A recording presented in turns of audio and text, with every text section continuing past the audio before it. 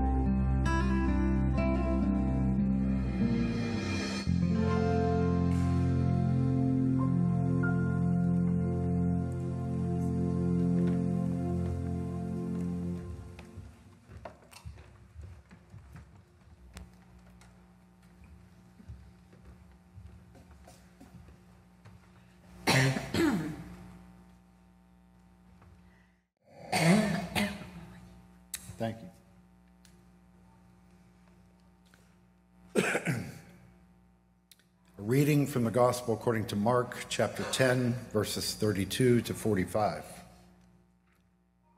They were on the road going up to Jerusalem, and Jesus was walking ahead of them. They were amazed, and those who followed were afraid.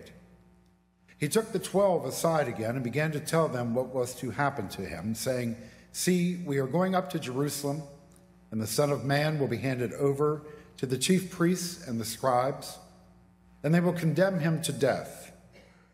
Then they will hand him over to the Gentiles. They will mock him and spit upon him and flog him and kill him. And after three days he will rise again. James and John, the sons of Zebedee, came forward to him and said to him, Teacher, we want you to do for us whatever we ask of you. And he said to them, What is it you want me to do for you? And they said to him, Grant us to sit, one at your right hand and one at your left, in your glory. But Jesus said to them, You do not know what you are asking. Are you able to drink the cup that I drink or be baptized with the baptism that I am baptized with? They replied, We are able. Then Jesus said to them, The cup that I drink, you will drink, and with the baptism with which I am baptized, you will be baptized. But to sit at my right hand or at my left is not mine to grant, but it is for those for whom it has been prepared. When the ten heard this, they began to be angry with James and John. So Jesus called them and said to them, You know that among the Gentiles, those whom they recognize as their rulers lord it over them, and their great ones are tyrants over them. But it is not so among you. But whoever wishes to become great among you must be your servant, and whoever wishes to be first among you must be slave of all. For the Son of Man came not to be served but to serve, and to give his life a ransom for many. And may God speak to us through these verses today.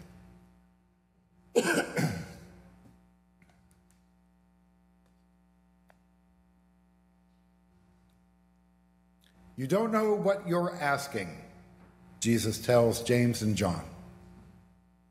They have just requested to be seated at his right and left hands when he comes into his glory.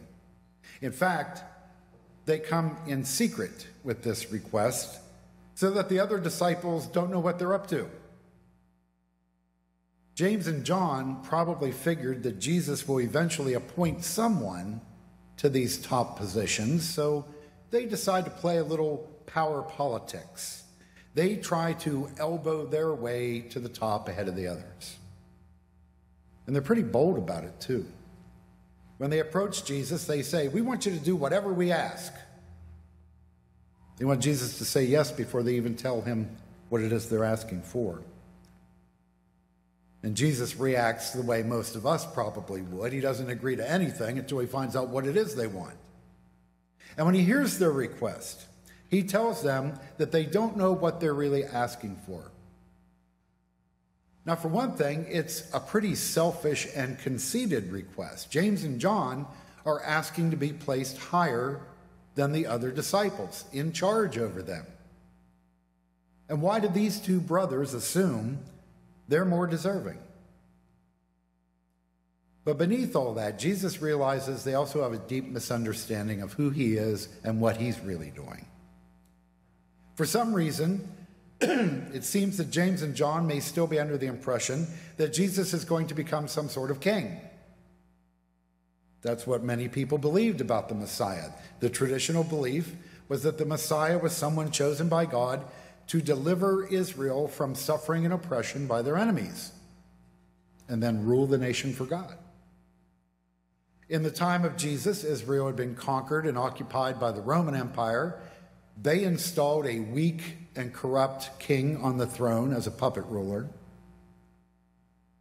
So, if Jesus was the Messiah, as the disciples and many other people believed, then one of the things they expected was for him to go into the capital city of Jerusalem, overturn the king, drive out the Romans, and put himself on the throne, with the disciples as his high ranking cabinet, of course. This is what some of them still believe and expect about Jesus, not just James and John, in spite of the fact that Jesus was obviously not that kind of Messiah. That was not his ambition.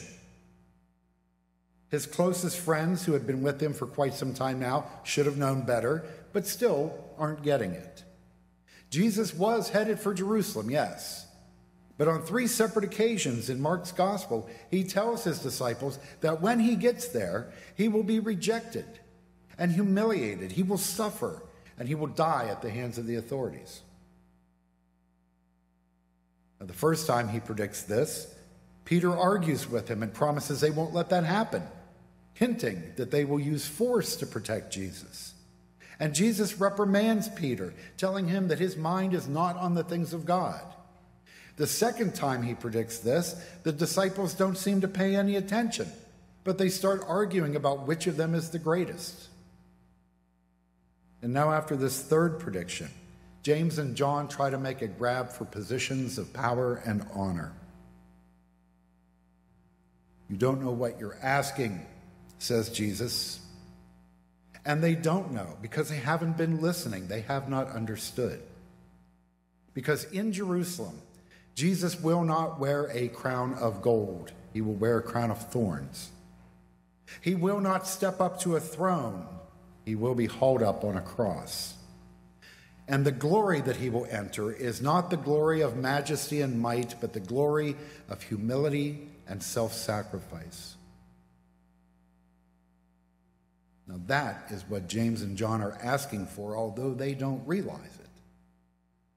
That's why Jesus asked them, Can you drink from the cup I drink from, be baptized with the baptism I am baptized with? He seems to be asking if they are willing and ready to go through what he is about to go through. And they say yes. But again, if they are mistaken about what Jesus is doing, they're probably mistaken about how he will do it or what it will demand of them to be part of it. My guess is that they think they are volunteering to fight with Jesus, to fight for Jesus. That they think this might be difficult and dangerous, but in the end they'll win because, after all, he's the Messiah, right? But what Jesus is really asking them is Are you willing to turn away from the ways of this world? Are you willing to reject the ways of kings and empires? Are you willing to reject the ways of power and privilege? Are you willing to drink the cup of self sacrificing love, the giving of your lives for others? Now, Jesus had already died to the ways of this world, and he had been giving his life for others for years, which surely strengthened him to face what he knew waited for him in Jerusalem. But James and John, it seems that their little power play shows they're really not ready. They're not even really on the same page as Jesus. And maybe none of the disciples were, because when the other 10 find out what these two brothers are up to, they get angry and maybe even fearful that they might be losing out somehow. So Jesus has to teach them all a lesson, and he uses the Roman rulers occupying their nation as an example. An example of what the desire for greatness and glory tends to do to people. Their rulers lord it over them, he says, and their great ones are tyrants over them. He's warning the disciples that a hunger for power could turn them into the very thing they are against tyrants who abuse their power and do more harm than good. Because Jesus is not interested in simply trading one group of privileged leaders for another. That wouldn't change anything. Because the real problem is that we human beings tend to set up power structures that wind up putting some folks up on the top and some folks down on the bottom. These are the power structures, whether they're political or economic or religious. These are what are responsible for human suffering in this world because they create inequality and conflict. These are the power structures that Jesus devotes his life to tearing down, to bring an end to conflict and suffering. And one of the ways he does this is by redefining greatness and glory. It is not that way for you, he reminds the disciples. True greatness, he says, is being a servant. And the only way to be number one is to become the slave of everyone else. Servants were very low on the social and economic scale, slaves were the lowest. Slaves did the work that no one else would do, not even a servant. And they received the least reward, which was usually no reward. And Jesus is using servants and slaves as examples of the opposites of kings and rulers, the opposite of what his followers are hoping and even scheming to be. Now, you may be familiar with the phrase upward mobility. Upward mobility means climbing the ladder of status and success as high as we can go. It's the model that our modern American culture is built on. But what Jesus is talking about is what we might call downward mobility. Giving up our own self importance and embracing the importance of others. Striving less for our own comfort and benefit and more for the comfort and benefit of others. Serving each other instead of just serving ourselves. This is Jesus' model for real success, real greatness. In fact, he himself is that model. You know, Jesus had no royal ambition, he had no desire for a life of fame and luxury and fortune. Instead, he says, I am here to serve, not to be served. And I am here to give my life for many. And again, he's not simply referring to his impending death, but to years of giving his life in loving service to others, service to many, and not just a favored few. Service not just to nice, clean cut folks with good reputations either. No, he gave more of himself to the sinners and folks rejected by society who get shoved down to the bottom. For Jesus, this is what it means to be a Messiah. This is how you save the world, not by force and not by schemes to control others, but by taking care of each other, helping each other, and even, yes, suffering for each other out of love and compassion. And this is what his disciples, this is what any of us who call ourselves his followers are supposed to imitate. It is what the world is supposed to imitate because it is God's purpose for this world. That is what God intends this life to be for all of us. And we, as followers of Jesus Christ, are called to be examples of that kind of life. And sadly, the church has not always accepted that call. Too often, the church has instead pursued power and privilege. Like other religions, the history of Christianity is often filled with religious tyrants and so called holy wars of conquest and exploitation. And even today, we hear too many stories of everything from Christians who believe that Jesus came and died to make us all rich and famous, to stories of churches that are ruled by iron fisted pastors or a few influential members who are more interested in control than in ministry. And too often, we Christians are guilty of believing that we, like James and John, are somehow entitled to special treatment from God, that we have earned some sort of advantage over other people.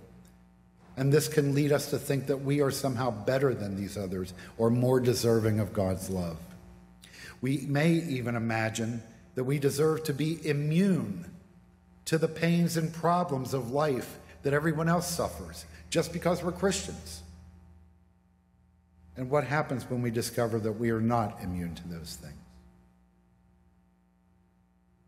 You don't know what you're asking, Jesus tells James and John when they come seeking places of honor and privilege at his right and left hands. And they really don't know. They certainly don't know, as one writer reminds us, that in all the Gospels, there is only one other reference to anyone winding up to the left and right of Jesus, and it is not a pair of ambitious disciples. It's a couple of outcasts, a couple of sinners. It's the two criminals who were crucified on crosses with Jesus. That is who Jesus was closest to in his moment of greatest sacrifice, his moment of greatest glory. You don't know what you're asking.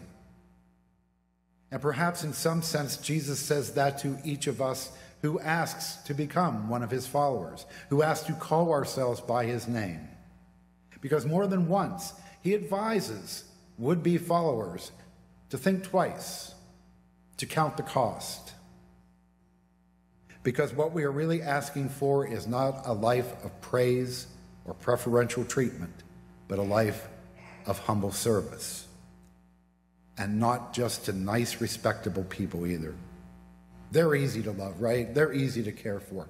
But we are called especially to service to those who have been forced down to the bottom, the people that the rest of the world turns its back on, the people it may sometimes seem a lot harder to love. What we are really asking for is not personal gain or glory, but the opportunity to give what we have and what we are to each other, to the greater good of everyone. What we are really asking for is to die to the ways of this world that create conflict and inequality, to die to the ways of the false greatness of status, wealth, and fame that this world values so much. To become a follower of Jesus Christ is to ask for our own cross. My friends, God's desire is for a world full of servants, not a world full of people stepping all over each other to get to places of honor. But the wonderful thing, the wonderful thing though, is that in a world where everyone is serving each other, then everyone gets served. Everyone would be cared for, and we would all receive what we need. And isn't that the kind of world we really want? or at least the kind of world that we should want, the world that our faith inspires us to want. In the meantime, we are called to live as if that kind of world exists here and now, because that is help, how we help to bring it into existence. I was watching a television show recently, and one of the characters was explaining to his son why he kept trying to do some good in the world, even though it seemed like such an uphill battle, even though it sometimes seemed like such a hopeless cause, or hopeless cause that didn't make much difference. And he said to his son, It doesn't matter if we don't make a difference. We live as though the world were as it should be to show the world what it can be. And I think Jesus would agree with that. I think it's what Jesus did with his own life and what he hopes we will all try to do with ours. Amen.